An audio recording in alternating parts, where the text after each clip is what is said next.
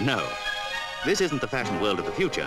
My hat, this is happening today. But where? Spain, Mexico, or have we gone back to South Africa again? Let's not get too high hat. We're on the beach in Britain, and these girls are dancers from Murray's Cabaret Club in London, taking a break from the dim nightclub lights with their sombreros out in the Sunday sun. Just because their job turns night into day, they need a weekend break by the sea. But they never forget that old adage, if you do want to get ahead, you've got to get a wacky hat.